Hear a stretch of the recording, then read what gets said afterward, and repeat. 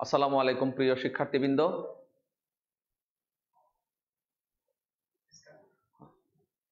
হ্যাঁ, আসসালামু আলাইকুম প্রিয় শিক্ষার্থীবৃন্দ। ঢাকা কলেজের পদার্থবিজ্ঞান বিভাগের অনার্স দ্বিতীয় বর্ষের ছাত্রদেরকে আজকের ক্লাসে স্বাগত জানাচ্ছি। আশা করি তোমরা সবাই ভালো আছো এবং বেশ অনেকদিন পরে আমাদের পূজা ছুটির পরে আজকে আমাদের প্রথম ক্লাস। এবং আমরা ইতিমধ্যে পূজা ছুটির আগে আমরা অনেকগুলো ক্লাস করে ফেলেছি। অনেক ক্লাস আমরা করে ফেলেছি আমরা এসি সার্কিট নিয়ে আমরা আলোচনা করছিলাম এবং এসি সার্কিটের ক্ষেত্রে তোমরা নিশ্চয়ই দেখেছ যে শুধুমাত্র আবেশকযুক্ত এসি সার্কিট কেমন হয় শুধুমাত্র রোধকযুক্ত এসি সার্কিট কেমন কীভাবে এসি সার্কিট হিসেবে কাজ করে শুধুমাত্র ধারকযুক্ত এসি সার্কিটটা কীভাবে এসি সার্কিট হিসেবে কাজ করে আমরা S RC in series combination রোধক এবং আবেশক আহ, ধারকের শ্রেণি সমবায় যুক্ত করলে সেক্ষেত্রে আমাদের সার্কিটের অ্যানালাইসিসটাকে বিশ্লেষণটা কেমন হয়, এগুলো আমরা অতীতে আলোচনা করেছি, তোমরা, তোমাদের নিশ্চয়ই তোমাদের মনে আছে। তো আজকে আমরা যেটা পড়ব সেটা হচ্ছে যে, যদি আমরা এসি সার্কিটকে তৈরি করি resistance and inductor resistance and inductor আমরা একটা রেজিস্টার ইউজ করব, আর একটা ইন্ডাক্টর আবেশক ব্যবহার করব ইন সিরিজ কম্বিনেশন তাহলে এটা কীভাবে এসি সার্কিট হিসেবে কাজ করবে? অল্টারনেটিং কারেন্ট হিসেবে এই বা ভোল্টেজ আমরা অ্যাপ্লাই করলে কীভাবে আমরা অল্টারনেটিং কারেন্টটা পাবো বা পাবো কিনা? আমরা সেগুলো নিয়ে আমরা এই চ্যাপ্টারের এই অংশের মধ্যে আমরা আজকে আলোচনা করতে যাচ্ছি। এবং এটা বরাবরের মতো আগে আগে আমরা যেভাবে শিখেছি ঠিক সেই একই অ্যানালাইসিস হ্যাঁ এখানে জটিলতার কোনো কিছু নাই, শুধু ধৈর্য ধরে আমাদের ক্যালকুলেশনগুলো একটু ভালো করে প্র্যাকটিস করতে হবে, কারণ পরীক্ষার সময় এগুলো আসার সম্ভাবনা কিন্তু অনেক বেশি। আমি গত ক্লাসেও বলেছিলাম লাস্ট ক্লাসে যে আরসি সার্কিট এলআর সার্কিট এবং আরস এলআরসি সার্কিট এই তিনটা সার্কিট খুব ইম্পর্টেন্ট হ্যাঁ তার মধ্যে একটা হয়ে গেছে আর দুটো বাকি আছে। আজকে একটা পড়ব এবং নেক্সট ক্লাসে ইনশাল্লাহ আমরা আর একটা এলআরসি সার্কিট আমরা সেটা আলোচনা করব।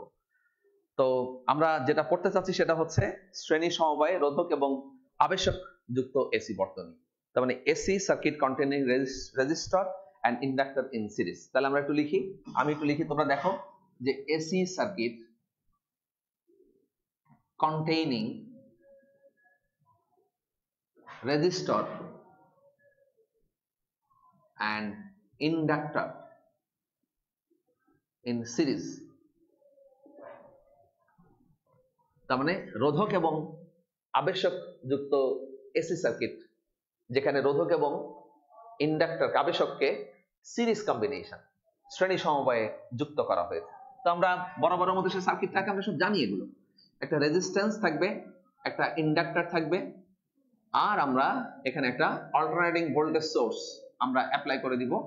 এটাকে আমরা বলব ই ইকুয়াল টু হচ্ছে E naught sine of omega T আমরা এখান থেকে কারেন্টটা যে একটা সাইন ফাংশন হবে বা সাইন পরিবর্তে সাইন সদৃশ্য দিক পরিবর্তী প্রবাহ পাবো আমরা, সেটা আমরা এখানে আলোচনা করতে চাই। তাহলে এটাকে আমরা বলছি হচ্ছে রেজিস্ট্যান্স বা রেজিস্টার এটা হচ্ছে ইন্ডাক্টর এটাকে যদি আমরা দুই ভাগে ভাগ করে দিই, তাহলে এর এগেনস্টে ভোল্টেজ ড্রপটা হবে বি আর এবং এল এর এগেনস্টে ভোল্টেজ ড্রপটা হবে হচ্ছে ভি তারপরে হচ্ছে এল এগুলো পরিষ্কার হিসাব মনে করি এই সার্কিটের মধ্যে যে কারেন্টটা যাচ্ছে, সে কারেন্টের মান হচ্ছে আই এই সার্কিটের মধ্যে যে কারেন্টের কন্ডাকশন হচ্ছে, সেটা মনে করি হচ্ছে আই আমরা দেখতে চাই কারেন্টটা হচ্ছে সাইন সদৃশ্য দিক পরিবর্তী প্রবাহ।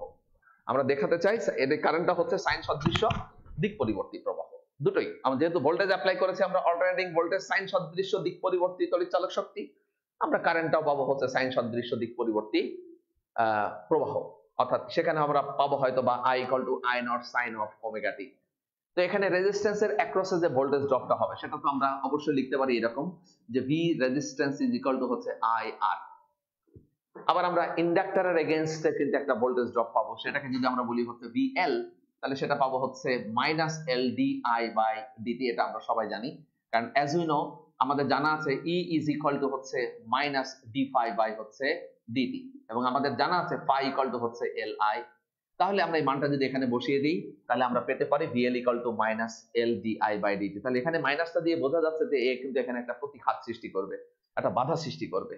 রেজিস্ট্যান্সের অ্যাক্রস একটা বাধা সৃষ্টি করবে। তাহলে আমরা টোটাল যে ভোল্টেজ ড্রপটা পাবো, আমরা যদি এই লুপটাকে আমরা যদি কনসিডার করি, তাহলে রেজিস্ট্যান্সের অ্যাক্রসে যে আমরা ভোল্টেজ ড্রপটা পাবো, সেই ভোল্টেজ ড্রপটা হবে ভি আর ইকুয়াল টু হচ্ছে ই মাইনাস হচ্ছে বিএল যেটা বাধা সৃষ্টি করছে, এই অংশটুকু সে বাদ চলে যাচ্ছে। তাহলে এখানে যদি আমরা মানগুলো বসিয়ে দিই ভিআই এর মান যদি বসাই, আমরা আই আর ই এর মান বসাবো, আমরা ই নট তারপর হচ্ছে সাইন অফ ওমেগা টি তারপরে মাইনাস তো এখানে চলে আসছে একটা। হ্যাঁ আমরা তো দিচ্ছি এখানে মাইনাস তো আছেই। তাহলে মাইনাসে যদি আমরা দিই, তাহলে এখানে পাবো হচ্ছে মাইনাস এল তারপরে হচ্ছে ডি আই বাই হচ্ছে কত?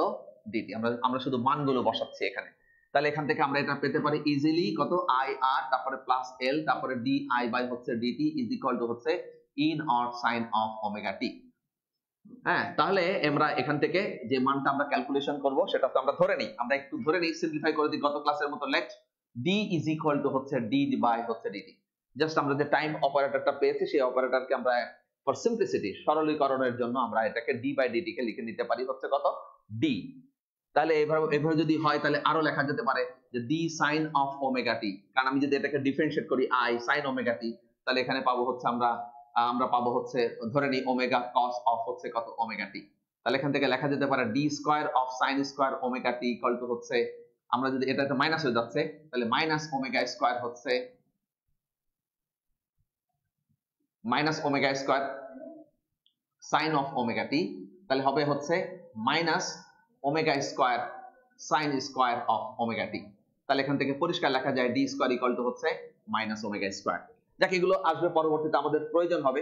তাহলে আমরা এই সমীকরণটাকে পরিষ্কার লিখতে পারি আই আর প্লাস হচ্ছে এল ডি তারপরে হচ্ছে আই তারপরে হচ্ছে ইকুয়াল টু ই নট তারপরে হচ্ছে সাইন অফ ওমেগা টি তাহলে এখান থেকে যদি আমরা আইটা কমন নিয়ে নিই, তাহলে থাকে হচ্ছে আর প্লাস হচ্ছে ডিএল হ্যাঁ? ইজ তারপরে থাকতে হচ্ছে ই নট তারপরে হচ্ছে সাইন অফ তারপরে ওমেগা টি তাহলে এখান থেকে আমরা টোটাল কারেন্টটা ক্যালকুলেশন করতে পারি।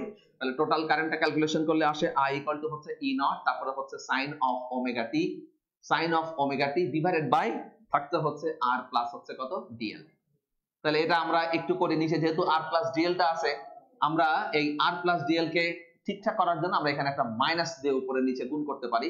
সেটা হচ্ছে দেখো ই নট এখানে হচ্ছে আর মাইনাস ডিএল তারপরে হচ্ছে sine of omega T divided by ওখানে এখানে থাকবে আর প্লাস হচ্ছে ডিএল ইনটু হচ্ছে আর মাইনাস তারপরে ডিএল উভয় পক্ষে, উভয় পার্শ্বকে হর এবং লব, উভয়, উভয়কে আমরা কি করব? আর মাইনাস ডিএল দিয়ে গুণ ভাগ করে দিব। তাহলে এখান থেকে মানটা আসবে I equal to E naught তারপরে হচ্ছে আর মাইনাস তারপরে ডিএল তারপরে sine of omega T divided by এখানে আসবে R square minus D square L square তাহলে এখান থেকে আমরা লিখতে পারি current I is equal to E naught তারপরে হচ্ছে সাইন সরি ই নট তারপরে R minus E naught R minus DL তারপরে হচ্ছে sine of omega T divided by R square plus হচ্ছে, আমরা এখানে লিখব হচ্ছে omega square L square as we know যেহেতু আমরা এখানে বলতে পারি যে ওমেগা স্কোয়ার ইকুয়াল টু হচ্ছে ওমেগা স্কোয়ার ইকুয়াল টু হচ্ছে D square minus D square equal to হচ্ছে মাইনাস ওমেগা স্কোয়ার তাহলে মোটামুটি আমরা একটা কারেন্টের মান পেয়ে গেলাম। এই এটাকে আমরা বলব ইকুয়েশন নাম্বার হচ্ছে ওয়ান তাহলে একটা কারেন্ট আমরা এটাকে সাইন সদৃশ্য দিক পরিবর্তী প্রবাহ হবে, সেটা আমরা এখান থেকে আসলে আমরা ক্যালকুলেশন করতে চাই। তো এটা হচ্ছে আমাদের এখন একটু আমরা আমরা লিখে নিব। আমরা লিখে নেওয়ার আগে আমরা যে কাজটা করব সেটা হচ্ছে যে আমরা এই এর আরও কিছু ক্যালকুলেশন বাকি আছে, সেই ক্যালকুলেশনটা আমরা এখানে ইজিলি ইজিলি আমরা সলভ করতে পারি। হ্যাঁ আমরা ইজিলি সলভ করতে পারি, তাহলে সেটা কীভাবে সলভ করব? তোমরা একটু লিখে নাও আগে আগে একটু লিখে নাও। এক মিনিটের মধ্যে একটু লিখে নাও। আই ইকাল টু দাঁড়াচ্ছে ই নট তারপরে আর মাইনাস তারপরে হচ্ছে DL sine omega T R square plus omega square L R square plus omega square L তারপরে আমরা এটাকে একটু সিম্পলিফাই করে আবার লিখতে পারি ইকুয়েশন ওয়ান দিলাম ওটাকে, এটাকে আমরা আবার যদি এমন ভাবে একটু লিখি, সাজিয়ে লিখি, তাহলে দাঁড়ায় আই ইকুয়াল টু হচ্ছে E naught E naught E naught থাকল ই নট তাহলে এখানে আছে R of sine of omega T minus তারপরে হচ্ছে ডিএল তারপরে হচ্ছে sine of omega T divided by থাকছে হচ্ছে কত? আর স্কোয়ার প্লাস হচ্ছে ওমেগা স্কোয়ার এল স্কোয়ার এটাকে আমরা বলতে পারি ইকুয়েশন নাম্বার হচ্ছে টু এটাকে আমরা বলতে পারি ইকুয়েশন নাম্বার টু তো মোটামুটি আমরা একটা ফর্মে চলে আসছি আমরা। এখানে লিখলাম ই নট তারপরে হচ্ছে R sine of omega T minus তারপরে হচ্ছে ডি এল তারপরে সাইন অফ ওমেগা টি তাহলে তারপরে দাঁড়াচ্ছে হচ্ছে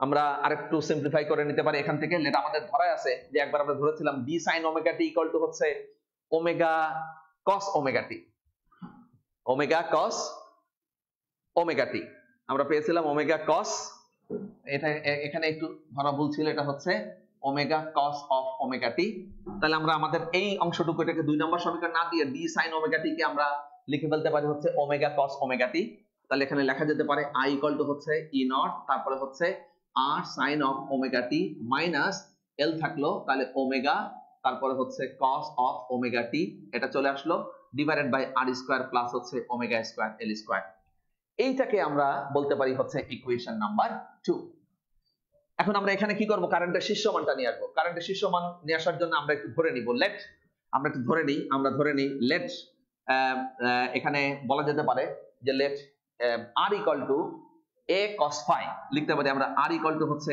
এ কস অফ ফাই এবং আবার আরেকটা ফাংশন আমরা এখানে ধরে নিতে পারি যে L omega equal to L omega যে অংশটা আছে, এই অংশটাকে বলতে পারি আমরা হচ্ছে এ সাইন অফ ফাই তাই না?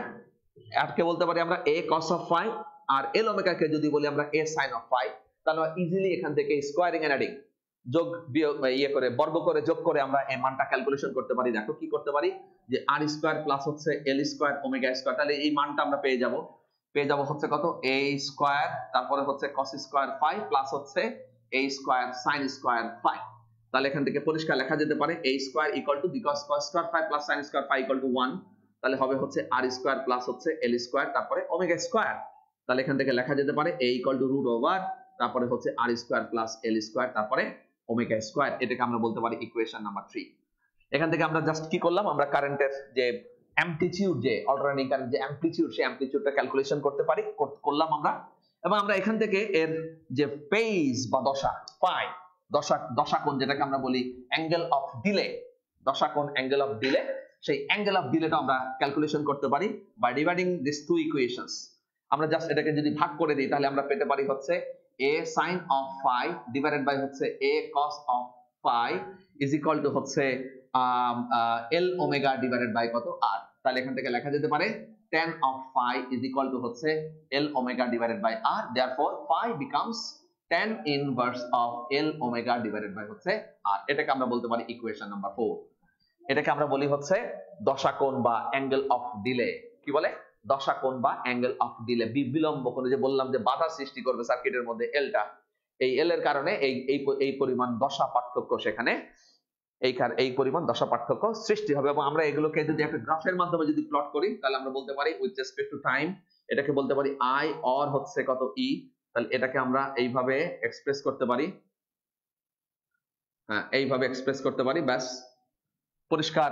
আমরা এর আগেও এই গ্রাফগুলো বেশ কয়েকবার আমরা কিন্তু আমরা আমরা দেখেছি। আমরা বেশ কয়েকবার এই গ্রাফগুলো দেখেছি। তাহলে এই মানগুলো যদি এখন আমরা একটু সেট করে দিই, তাহলে ইকুয়েশন যে আমরা পেলাম ইকুয়েশন টু তাহলে ইকুয়েশন টু এর চেহারা কিন্তু এখন আবার চেঞ্জ হয়ে যাবে। তাহলে ইকুয়েশন টু এর চেহারা কেমন হবে? সেটা আমরা এখানে লিখতে পারি। তাহলে equation two then reduce to then equation two becomes equation two yes equation two then equation equation two becomes equation two কি আসতে পারে? I equal to i i এর জায়গায় i থাকল। তারপর আমরা এখানে পাচ্ছি হচ্ছে যদি মানগুলো বসাই, তাহলে হচ্ছে e নট তারপর হচ্ছে আমরা এখানে r এর মানটা বসাবো হচ্ছে কত? A, তারপরে হচ্ছে cos অফ phi তারপরে থাকছে হচ্ছে sin of omega t minus l ওমেগার পরিবর্তে লিখেছি আমরা a, তারপরে হচ্ছে sin অফ phi আর এখানে আছে হচ্ছে cos অফ তারপরে হচ্ছে omega T divided by R এটার পরিবর্তে আমরা পরিষ্কার লিখে দিতে পারি হচ্ছে, এটার পরিবর্তে লেখা যায় হচ্ছে কত? A স্কয়ার এটার পরিবর্তে a স্কয়ার লেখা যায়। আমরা এটা একটু, এটা রেখে দিই, এরকম করে রেখে দিই l r square plus l square তারপরে হচ্ছে ওমেগা স্কয়ার হ্যাঁ হ্যাঁ এটা হচ্ছে আমাদের ইকুয়েশন 2 এর চেহারা দাঁড়াল হচ্ছে এমন। এর মান যদি আমরা বসাই, সেক্ষেত্রে কেমন হতে পারে দেখো? আমরা এখানে যদি পাই ইয়ে করি, আমরা ইকুয়েশনটা লিখতে পারি ই নট তারপরে হচ্ছে এ থাকল তারপরে sine A cos B cos A sine B তাহলে লিখতে পারি আমরা sine of omega T minus হচ্ছে কত? ফাই এই হচ্ছে সেই phase angle phase difference phi হ্যাঁ পশ্চাৎবর্তী মাইনাস ফাই এবং এই এই এই কোণটাকে আমরা বলছি হচ্ছে ডিলে অ্যাঙ্গেল অফ ডিলে বা বিলম্ব কোণ বা আর স্কোয়ার প্লাস হচ্ছে এল স্কোয়ার তারপরে ওমেগা স্কোয়ার এখন আমরা এখানে এর মানটা যদি বসিয়ে দিই, তাহলে I then becomes E naught এর মানটা দাঁড়াবে হচ্ছে root over R square plus হচ্ছে L square omega square sin of omega t minus phi divided by root over r square plus হচ্ছে l square, তারপরে omega square. এখন পরিষ্কার দেখা যাচ্ছে উপর নিচে উপর নিচে কিন্তু এখানে তো রুট ছিল না। এখানে রুট ছিল না, এই রুটটা আসলে হবে না। এই রুটটা তো নাই, এই রুটটা নাই। এইবার যদি আমরা একটু কাটাকাটি করি, তাহলে আমাদের ইকুয়েশনে থাকে I equal to E naught এটাকে লেখা যেতে পারে হচ্ছে আর স্কোয়ার প্লাস হচ্ছে L square omega square sine of omega T minus phi divided by এটাকে আমরা লিখতে পারি root over R square plus L square omega square into root over R square plus L square omega square এর মধ্যে একটা যদি আমরা কেটে দেই, তাহলে এখানে থাকবে হচ্ছে I equal to E naught তারপরে হচ্ছে, তারপরে ওয়ান ডিভাইডেড বাই কত থাকছে? Root over R square plus L square omega square তারপরে হচ্ছে sine of omega T minus হচ্ছে কত? ফাইভ হ্যাঁ এটাকে আমরা আরও সুন্দর করে, আরও আরও সুন্দর করে আমরা এটাকে এক্সপ্রেস করতে পারি। এগুলো জাস্ট ক্যালকুলেশন এগুলো ক্যালকুলেশন এর মধ্যে এগুলো অলরেডি আমাদের পড়া। এগুলো ক্যালকুলেশন করছি আমরা। তাহলে এই কোয়েশ্চেনটাকে আরেকটা সুন্দর করে লিখতে পারি আমরা। দেন আই ইকুয়াল টু কত হচ্ছে? ই নট ডিভাইডেড বাই হচ্ছে রুট ওভার তারপরে হচ্ছে আর স্কোয়ার প্লাস হচ্ছে L square omega square sine of omega T minus হচ্ছে কত? ফাইভ এটাকে আমরা বলব ইকুয়েশন নাম্বার ফোর তাহলে আয়ের মোটামুটি আমরা একটা অবস্থায় চলে আসছি, যেখানে পরিষ্কার দেখা যাচ্ছে যে একটা ইয়ে আছে, তোমার সাইন ফাংশন চলে আসছে অলরেডি এবং এখানে একটা ফেস চেঞ্জ দেখতে পাচ্ছি আমরা পাই। এই এবং এইটাকে আমরা বলছি অ্যাঙ্গেল অফ ডিলে হ্যাঁ অ্যাঙ্গেল অফ ডিলে বা বিলম্ব কোণ বলা হয়। হ্যাঁ এই পরিমাণ বিলম্বে পরবর্তী অংশটা মানে ওই ইন্ডাক্টর এই কাজটা করে দিচ্ছে আর কি বিলম্ব কোণ সৃষ্টি করে দিচ্ছে। এদের মধ্যেকার দশা পার্থক্য ফাইকে দশা কোণ বা বিলম্ব কোণ বা অ্যাঙ্গেল অফ ডিলে বলা হচ্ছে। অ্যাঙ্গেল অফ ডিলে বলা হচ্ছে। এখন যদি আমরা এই অংশটাকে আমরা যদি ধরি লেট হ্যাঁ E naught divided by root over R square plus হচ্ছে L square omega square equal to I নয় আই নট মানে প্রবাহের শীর্ষমান amplitude of the alternating current amplitude amplitude, আমি লিখে দিয়েছি amplitude amplitude হ্যাঁ তাহলে এটাকে পরিষ্কার লেখা যেতে পারে i equal to হচ্ছে i নট তারপরে হচ্ছে sin of omega t minus হচ্ছে কত? পাই একদম সিম্পলিফাই করার পর আমরা পরিষ্কার দেখতে পাচ্ছি যে আমরা এলআর সার্কিটকে সার্কিটের মধ্যে যখন আমরা অল্টারনেটিং ভোল্টেজ অ্যাপ্লাই করেছিলাম, সেই অল্টারনেটিং ভোল্টেজের কারণে যে কারেন্ট প্রডিউস হয়েছে সার্কিটের মধ্যে, সেটা হচ্ছে সাইন সদৃশ্য দিক পরিবর্তী প্রবাহ বা অল্টারনেটিং কারেন্ট এখানে পরিষ্কার দেখা যাচ্ছে I equal to I naught sine of omega T minus হচ্ছে ফাইভ ও বরাবর এগুলো আসলে অন্যান্য দিন আমরা যে সার্কিটগুলো অ্যানালাইসিস করেছি, সেই সার্কিটগুলোর মতোই। আমরা আরসি সার্কিট অ্যানালাইসিস করেছি আর সি এল এই সার্কিটগুলো আমরা অ্যানালাইসিস করেছি। সেই অ্যানালাইসিসের মতোই এগুলা। তো একটু আমরা একটু বড় করে দিই, এটা একটু বড় করে, একটু একটু দেখে নিই এক নজরে। হ্যাঁ। তোমাদের একটু লিখতে মনে হয় অসুবিধা হবে, কারণ বোর্ডের মধ্যে তো সব লেখাগুলো পর্যায়ক্রমিক লেখা, দেখানো সম্ভব না। তোমরা যখন ভিডিওটা দেখবা, তখন পর্যায়ক্রমিক ভাবে যেভাবে লেখা হলো, সেইভাবে খাতায় এই ক্যালকুলেশনটা এখান থেকে করে নিবা। এখান থেকে করে নিবা।